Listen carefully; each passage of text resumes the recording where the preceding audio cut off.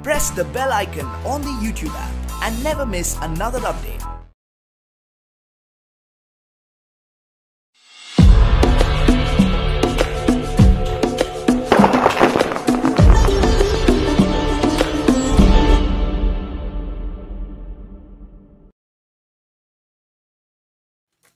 নমস্কার বন্ধুরা spiritual bulletin এক্সট্রাস চ্যানেলের সকল শ্রোতা দর্শক বন্ধু ও সদস্যকে জানাই সাদর সুস্বাগতম।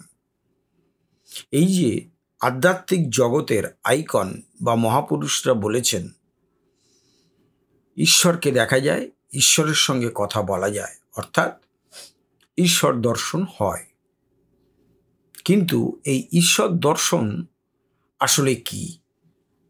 ঈশ্বর কি চোখের সামনে এসে দাঁড়িয়ে পড়েন, ঠিক মানুষের মতো? কথা বলেন এমন প্রশ্ন থেকেই যায়। আর সেই প্রশ্নের উত্তর নিয়ে আজ আমরা আলোচনা করব। আলোচনা করব মহাসাধিকা শ্রী শ্রী আনন্দময়ী মায়ের কথা থেকে। আনন্দময়ী মা বলছেন এই সিদ্ধি লাভ সম্পর্কে। বলছেন, একেবারে শুদ্ধ হলেই মানুষ সিদ্ধ হয়। এবং তখন জীবাত্মা সব কিছু সিদ্ধ দর্শন করো। প্রশ্ন হলো, সিদ্ধি বলতে ঠিক কি বোঝায়? মা বলছেন, সিদ্ধিও অনেক প্রকারের আছে। যেমন অষ্টসিদ্ধি, কোনো বিষয়ে সিদ্ধি লাভ করা। বলেই মা প্রশ্ন করছেন, সিদ্ধি লাভ করলে মানুষ কি দেখে? আবার নিজেই উত্তর দিয়ে বলছেন, এ শরীরটা বলে সিদ্ধি লাভ করলে সিদ্ধই দেখে। যেমন আলু সিদ্ধ, পটল সিদ্ধ, মায়ের কথা শুনে ভক্তরা হেসে ফেললেন। কিন্তু হাসবার কথা নয়, এটাই সত্য। সে দেখে যে সব আমি অথবা সব তুমি। আবার আমি তুমি জগৎ সব একের মধ্যে লয় পায়।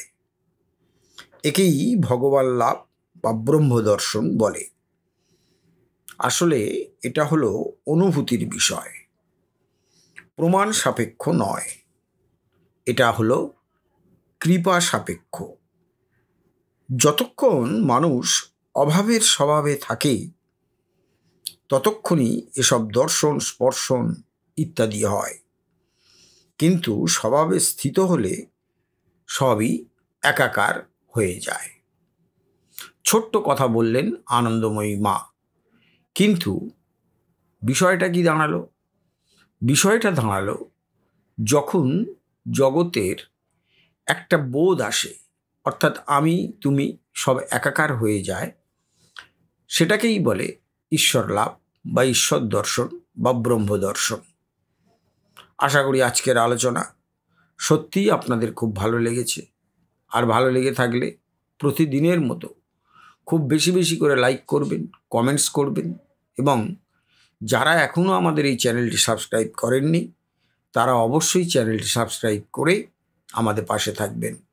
সকলে খুব ভালো থাকুন, আনন্দে থাকুন, নমস্কার, ধন্যবাদ।